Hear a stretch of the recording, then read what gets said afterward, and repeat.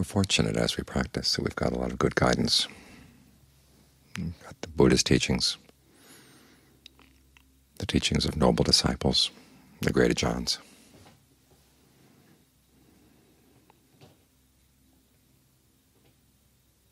But even so, as we sit down and meditate, for each of us it's a process of discovery. Sort of the way Columbus discovered America. It wasn't really lost. A lot of other people knew that America was there.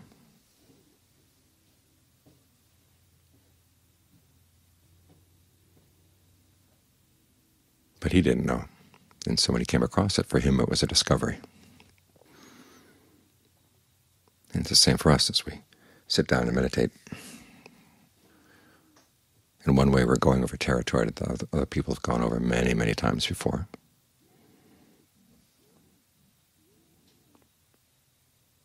But for us, it's new.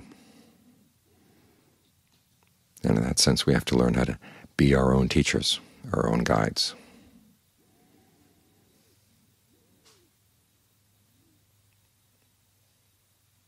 We have to learn how to be our own mainstay. As the Buddha said, the self is its own mainstay. And so a lot of the practice is learning how to be a reliable mainstay for yourself. So when something happens in your meditation, you have a sense of how reliable it is, which means that you have to become reliable.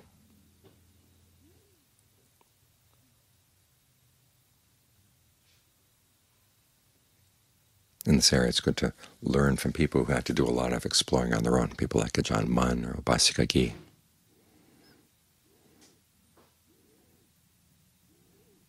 They received training as they started out, but then they found there were a lot of areas they had to explore on their own. In Ajaan Mun's case, he had a lot of psychic knowledge, which his teacher, Ajaan Sao, didn't have.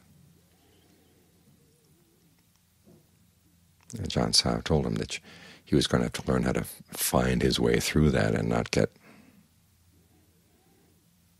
thrown off course. There are two lessons that he relied on. One I learned from Ajahn Fuang, which was that whatever comes up in your meditation in terms of a vision, you don't try to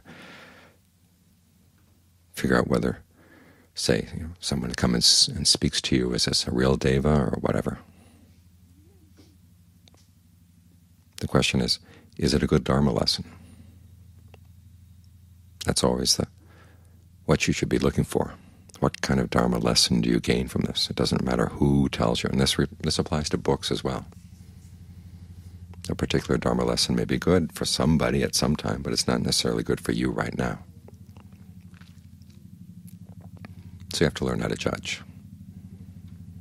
When an insight comes into your mind, the first question is, what kind of impact does it have? What, if you took that insight for being true, what would it do to your actions?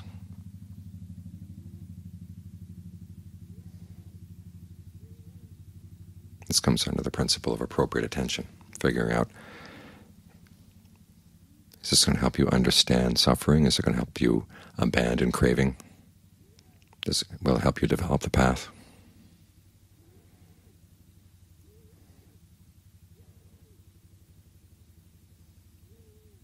Those are the questions you want to ask.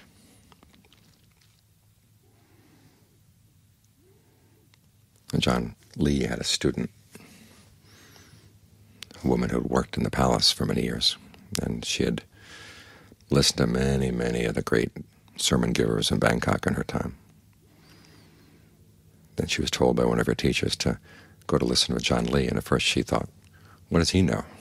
He's been living all of his life out in the woods. And here I've been in Bangkok and listened to all the great sermon givers. But she went and listened anyhow and she found she learned a lot of things she'd never learned before. He taught her how to meditate, and she turned out to be psychic in a lot of ways. One time in, in one of her meditation sessions, she had this vision, and then a voice appeared in the vision and said, this was when you were living in.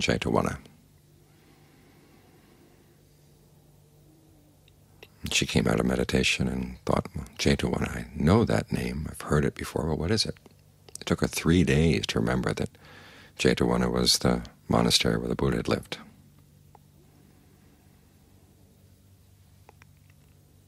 But instead of getting excited that she had a memory of a previous lifetime and may have been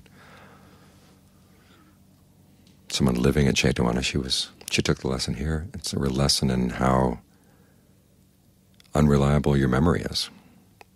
She had been chanting suttas that had taken place in Jetavana most of her life, and yet she'd forgotten.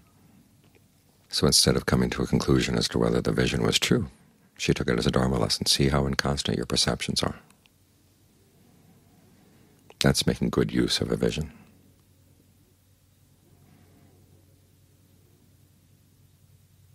As for insights that come, Ajaan Fuang often used to say, don't try to memorize them. You're not here to write a book. If an insight comes, try to apply it right now. And see what impact it has. If it's not relevant to what's happening right now, he says, just forget it. It'll come back when you need it, if, you, if it's an insight that's actually going to be useful. But the insight is to be measured by its immediate impact, what it does. Wisdom, after all, is strategic. So how would you take that insight and use it as a strategy?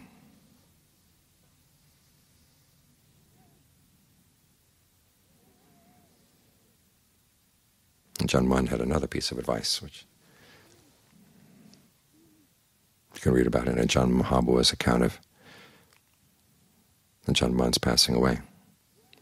He was feeling really abandoned. And then he remembered a piece of advice he'd gotten many times from Ajaan Mun. He says, when something comes up in your meditation that you're not sure about it, just watch it. Stay with a sense of the knower, or just bare awareness. Don't jump to any conclusions, just watch to see where it goes.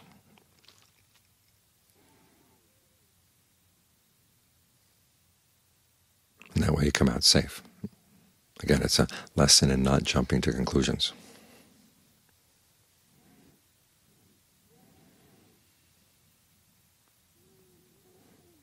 For Upasika Kee, one of her favorite pieces of advice was that remember there are many layers in your mind.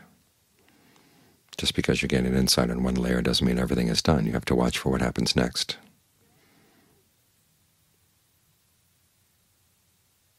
In other words, when you let go of something, what comes up in its place? Is there any pride? We'll see if you can let go of that.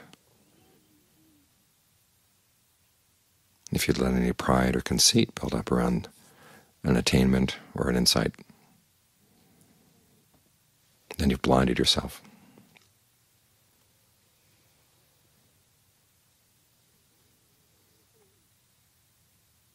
As soon as something comes up and seems important, watch what happens next in the mind you notice that all these pieces of advice teach you to be very careful about causality and learning to see things simply in a causal process. What happens after the insight? What can the insight be used for? If you're not sure if it's reliable, step back. Don't get involved. keep watching, watching, watching. And we're not here just to be watching and being in the present moment because it's a great place to be, because it's one of the best places to watch things as they unfold.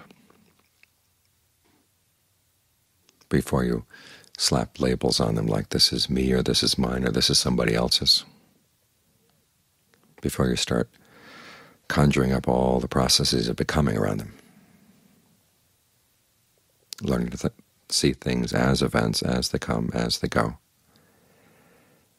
particularly so that you can see where you're adding an un, any unnecessary suffering, what your intentions are doing, what your attention is doing, how you pay attention to things. Is that helping to alleviate suffering, or is it going to add any more on? So it's not like we're just accepting things. We actually have to pass judgment and you need some guidance in how to pass judgment. This is one of the reasons why we develop mindfulness and concentration. Trying to develop that mind that the Buddha said is like earth or like fire. That doesn't shrink back from disgusting things and doesn't get excited about pleasant things. One that's willing to watch, You have that sense of patience. It allows you to see things all the way from cause to effect.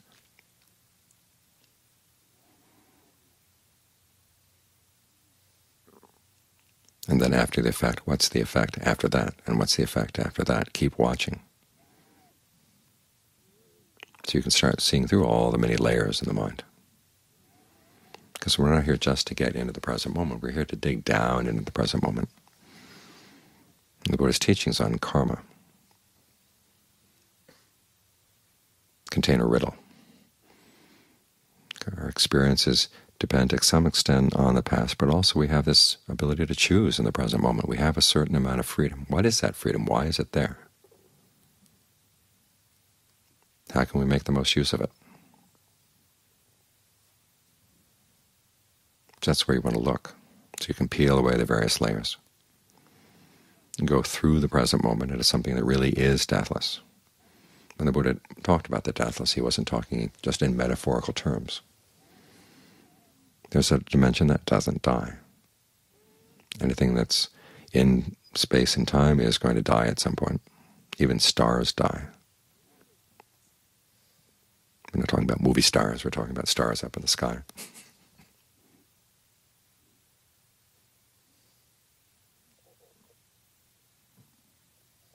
Galaxies get sucked into black holes, and who knows what happens to black holes.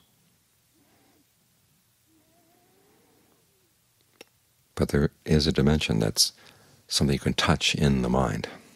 It's not subject to all that change.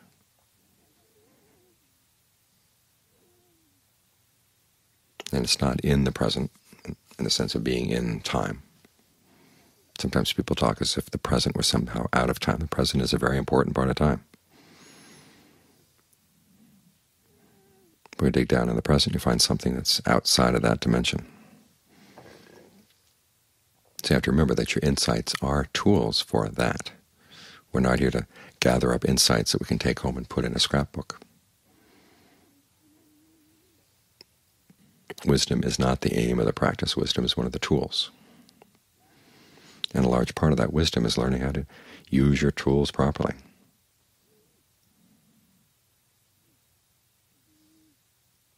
Learn how to make yourself a reliable mainstay so you can judge when something happens whether it's useful or not.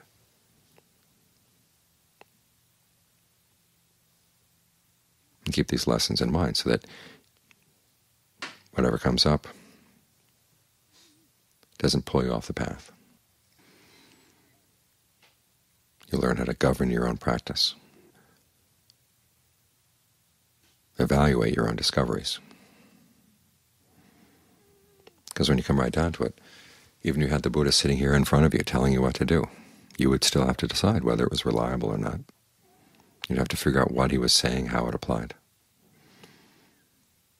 So despite all the help we get, we have to keep coming back to ourselves. It's one of the reasons why the Buddha said, let someone who is observant and honest, who is no deceiver, come. And he said, I will teach that person the Dharma. Basically, when he says that, he's telling you to look in yourself for what you're going to need in order to learn the Dharma. You have to be observant and you have to be no deceiver. You have to be honest with yourself. So the Buddha gives you lessons on how to do that, but then you're the one who has to apply them. You're the one who has to judge the results. Did you apply them well? If you have a teacher living nearby, the teacher can help looking from the outside, noticing if there are some obvious blind spots.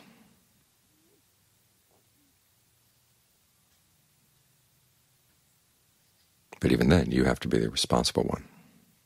And the good news is that you can.